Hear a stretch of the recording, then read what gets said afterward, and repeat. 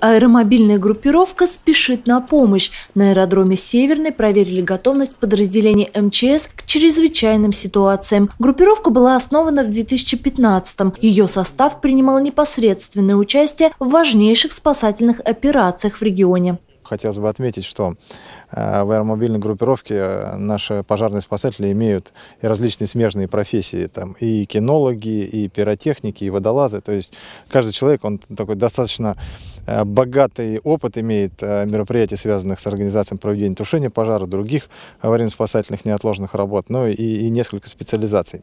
Личный состав насчитывает 100 бойцов. Группировка использует 15 единиц техники. Это пожарно-спасательные машины и инженерные средства. В зависимости от сезона комплектация меняется. Например, к лету технический состав пополняется плавсредствами.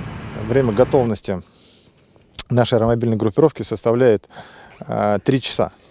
Э, вот сегодня мы внезапно провели э, э, подъем по тревоге, такую тренировку в рамках подготовки к выборам, подготовки к весеннему половодью, ну и в рамках мероприятий, связанных с вопросами профессиональной подготовки. В течение трех часов весь личный состав собрался, укомплектовался и совершил марш в заданный район, где мы сейчас находимся. Группа готова к любым неожиданностям, может ликвидировать шесть видов чрезвычайных ситуаций, паводки, разные виды пожаров, обрушения, дорожные катастрофы и химические аварии. Бойцы способны существовать автономно 10 суток. Ну, это склад материально-технического оборудования, значит, э, предназначен для хранения э, продовольствия, значит, для хранения пожарного инвентаря. В данных ящиках у нас хранится продовольствие, э, сухие пайки, ИРП, индивидуальные пайки, значит, на 100 человек до 10 суток автономного проживания предусмотрены вот этих вот пайков.